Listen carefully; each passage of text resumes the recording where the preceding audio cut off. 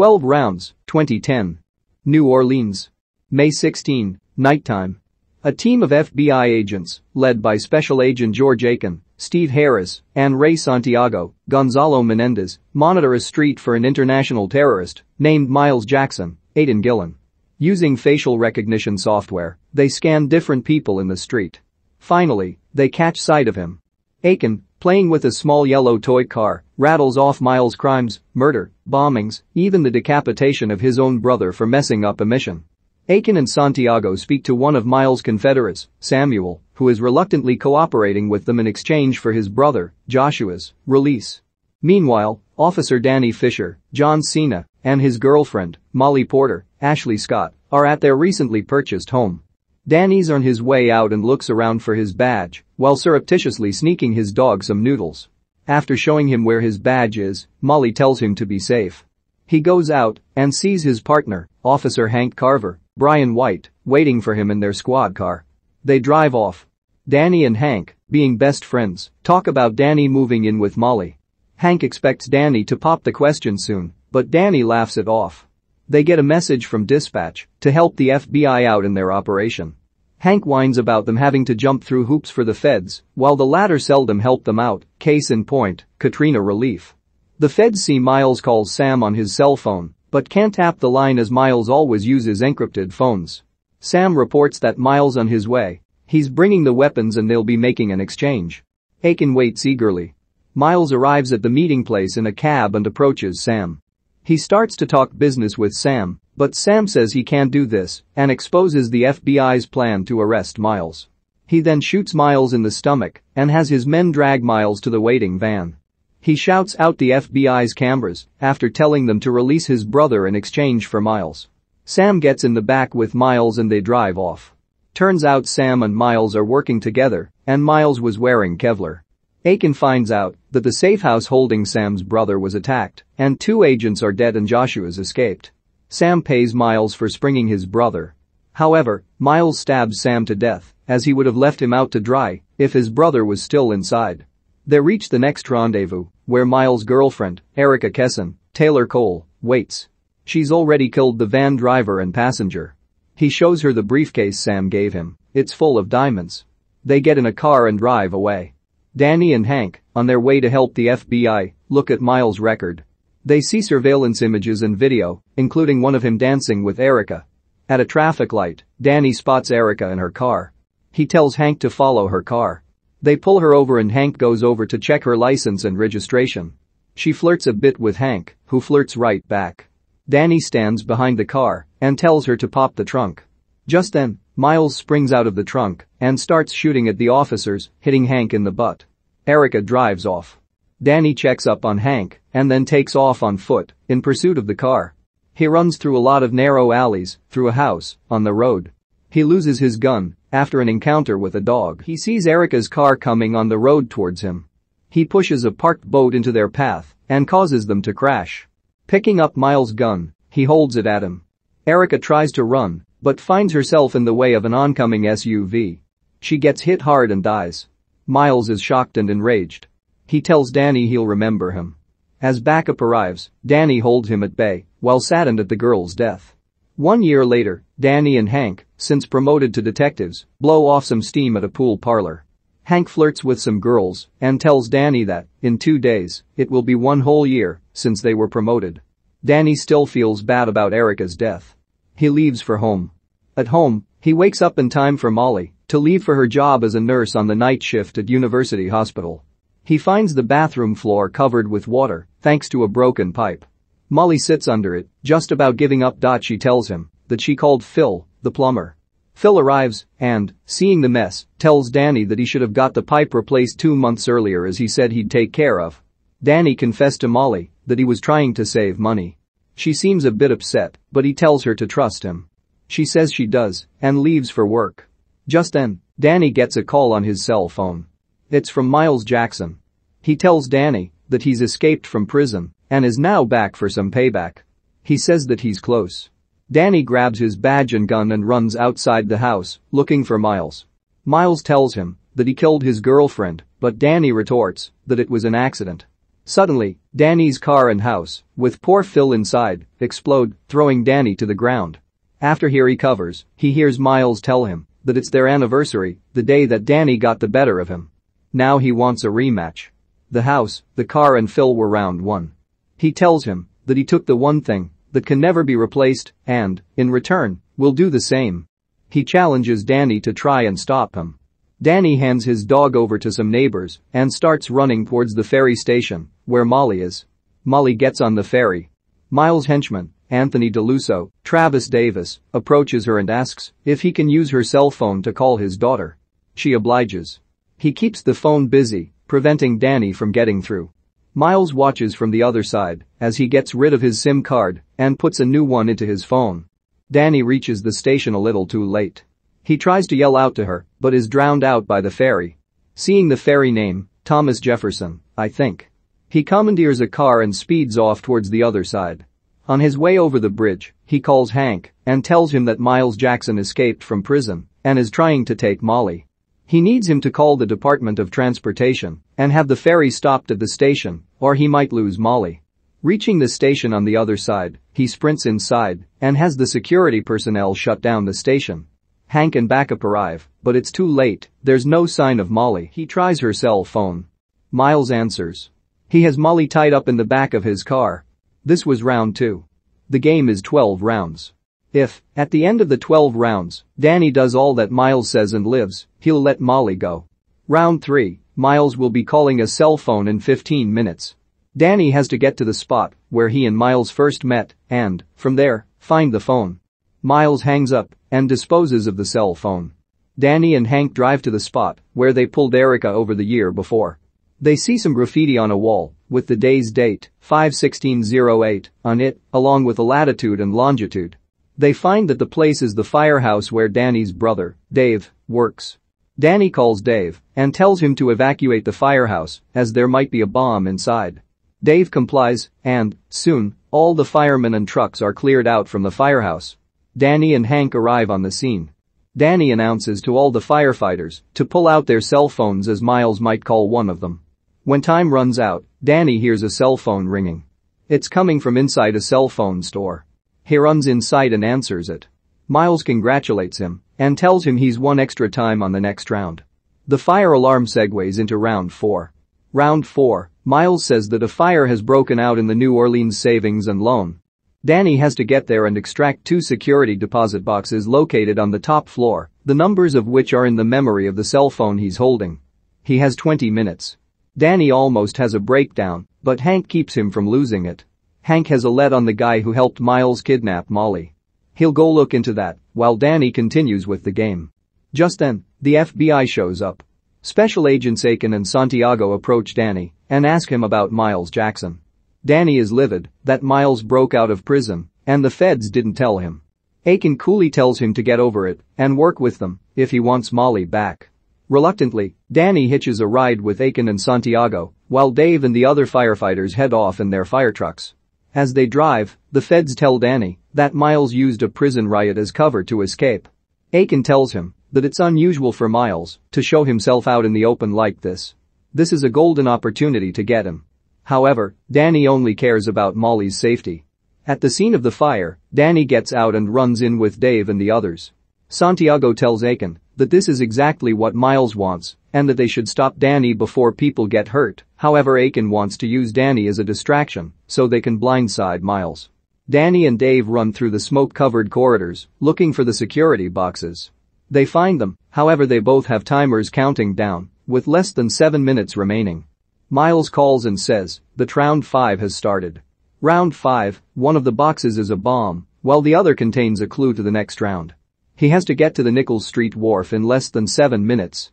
If he doesn't get there in time, the bomb goes off. Since time is a constraint, Miles advises him to use a fire truck. With 6 minutes left and the long way downstairs, Danny decides to go out the window. Seeing a huge spool of cable, he tells Dave to anchor down one end while he throws the rest of it out the window. Carrying the two boxes in a bag, he goes down the cable. Finding himself out of cable and some feet to go, he lets go and crashes through some scaffolding, much to the horror of the onlookers. Recovering quickly, He hijacks a fire truck and races through the streets of New Orleans, causing quite a lot of damage along the way. With less than a 20 seconds to go, he reaches the edge of the wharf.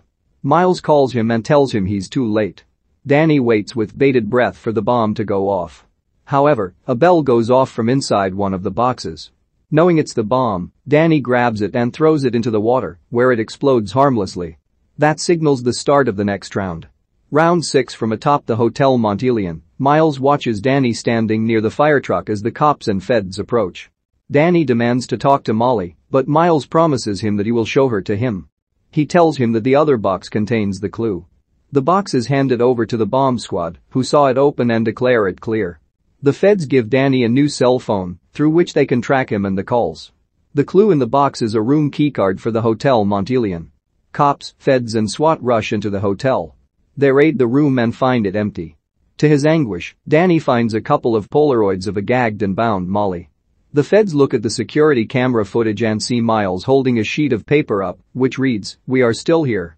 They see him talking with a Hevesit man, named Willie Dumaine, Peter Navy Tuiasosopo. Danny goes to speak to Willie about Miles. Willie shows him where they went they took an old elevator to the roof. Danny and Willie get on the elevator. As they ascend, a small charge fixed to the elevator motor goes off, stopping the elevator. Danny sees his cell phone has no signal there. He tries to get the elevator service phone, but finds a small laptop there instead.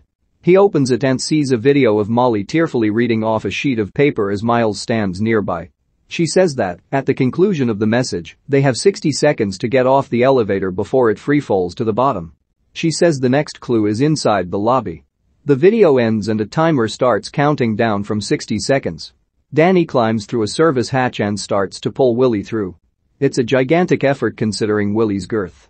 He manages to get Willie up onto the top of the elevator, with almost no time left, Danny tells Willie to take his hand as he climbs along the shaft wall.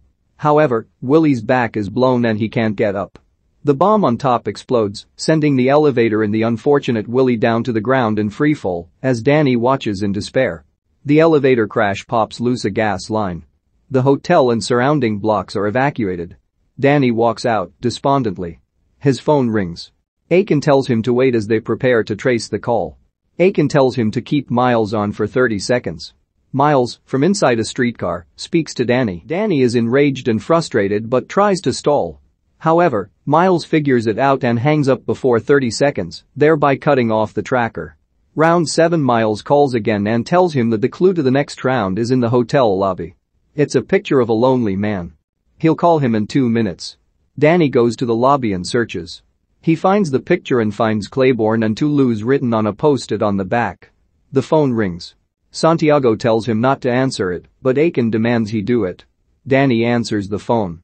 Miles tells him to be there alone in 10 minutes, and he may have a 50-50 chance in having the time of his life. As Danny leaves, Aiken admonishes Santiago. At Claiborne and Toulouse, Danny waits anxiously. He sees a bus pull up bus number 5050. Realizing that's what Miles meant, he gets on. To his bemusement, he finds Molly on board, shaken and scared. He sees she's wearing a bomb underneath her jacket.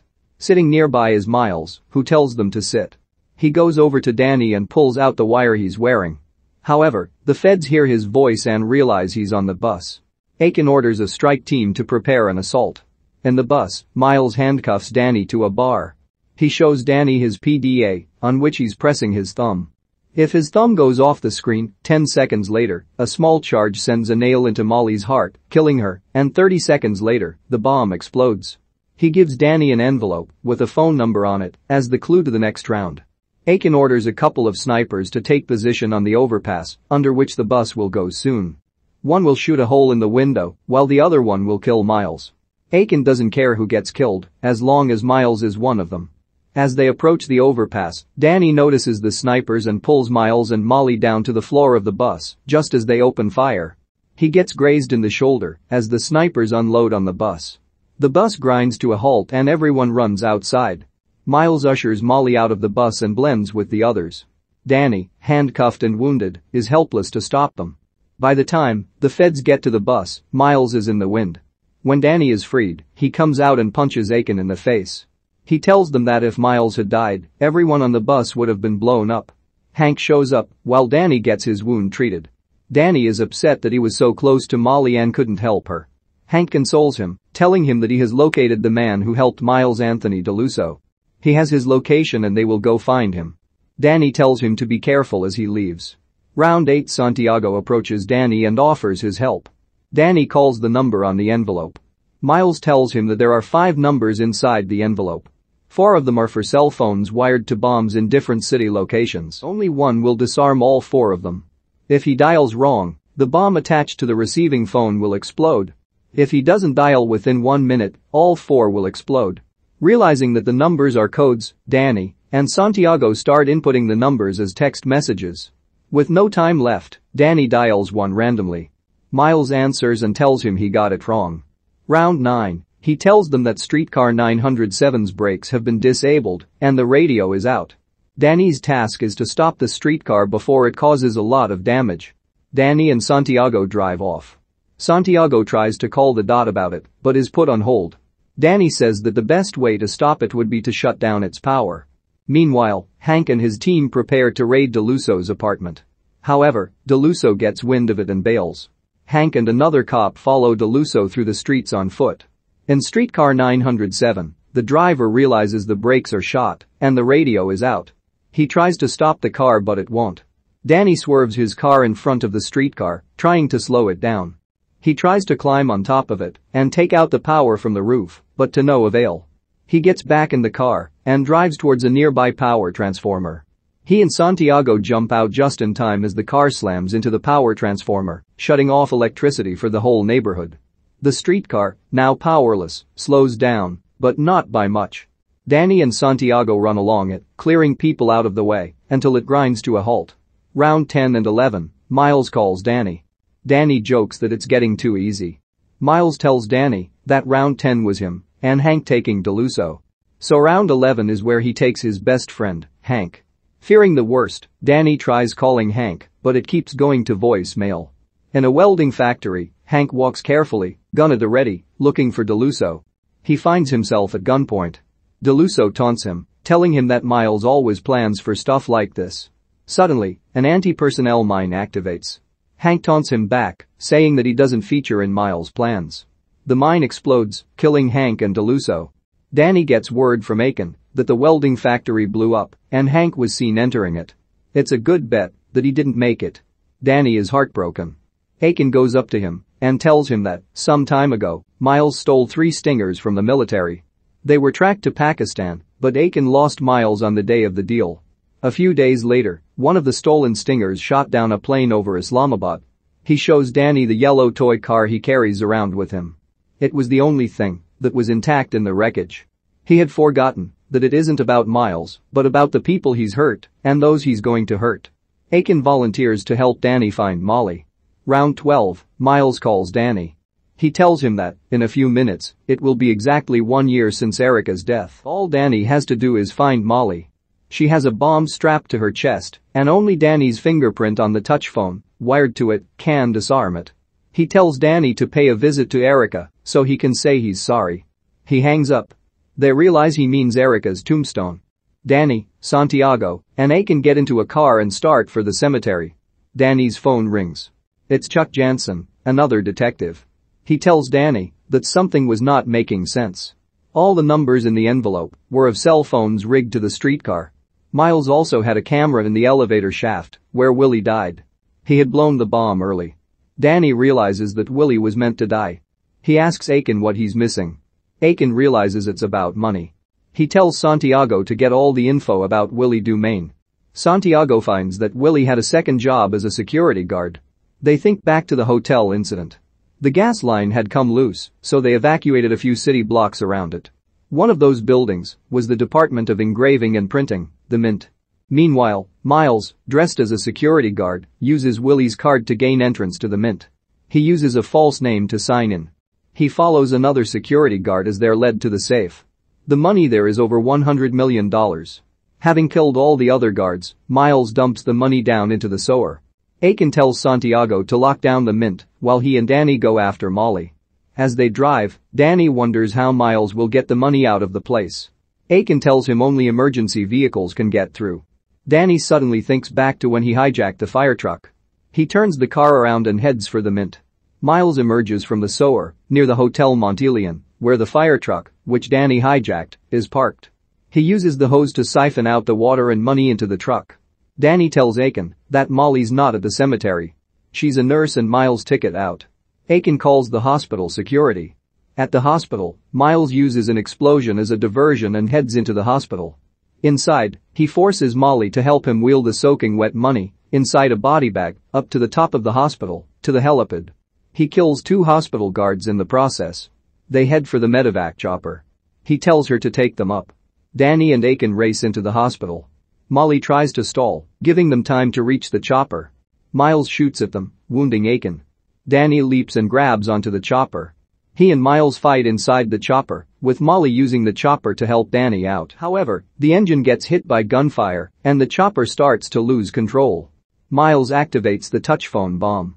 Danny, though wounded, punches Miles' lights out before he and Molly jump out of the chopper into a terrace pool just as time runs out. Miles gets blown to bits inside the helicopter. Aiken, happily, throws his yellow toy car away. Danny and Molly slowly and painfully trudge downstairs while Danny starts to tell Molly about the house.